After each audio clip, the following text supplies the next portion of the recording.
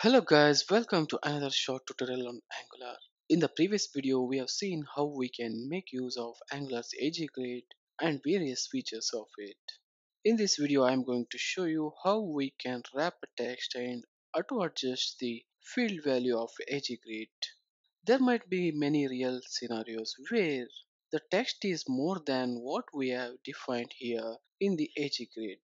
In this example, we have a text which have very less characters. There might be real scenarios where there will be more characters.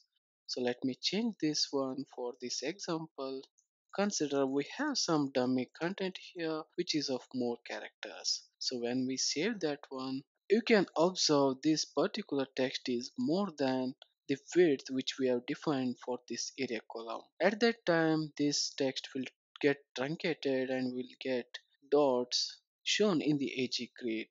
But it's not good to show the truncated values or text to the users. In that scenarios, it's better we wrap this text and show it to the user so that users can see entire content of this particular cell.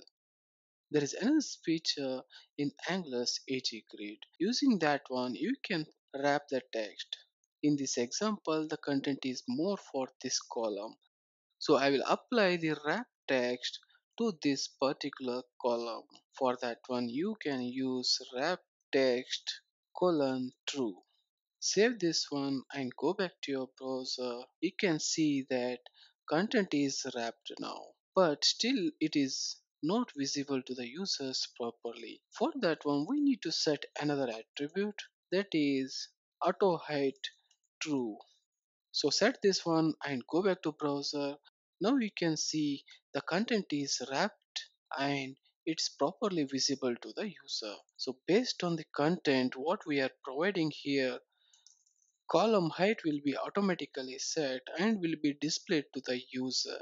This is one of the useful feature of Angular's AG grid.